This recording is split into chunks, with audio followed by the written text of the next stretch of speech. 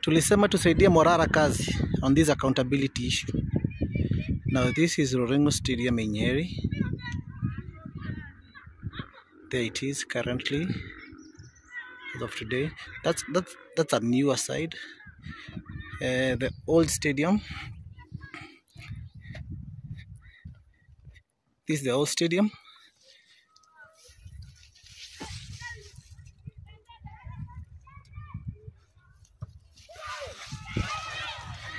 As you can see, there's still a lot of work to be done.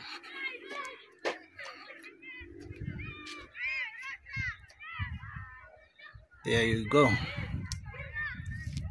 And for the Downton Thomases,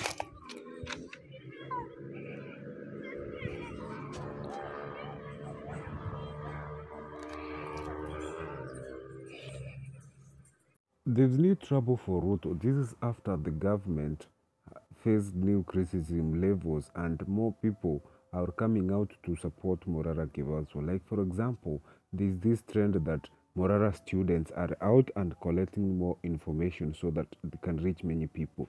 There are a lot of things which are going in the government which are not being exposed. And with this era of digital information, many Kenyans have chosen to go out there and collect data and expose it. Like for example, today we are talking about this incident in Nyeri where this guy decided to support Morara by exposing what is happening in the Nyeri Stadium.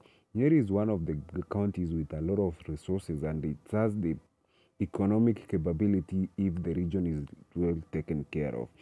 If you look closely right now, in place like Nyeri, Nyeri is one of the places in Kenya with that potential of dairy, coffee, tea, avocado, banana production, which can reach a multi-billion level of in revenue. So the country has been facing a lot of challenges in, in terms of stalled project and Nyeri is no exceptional.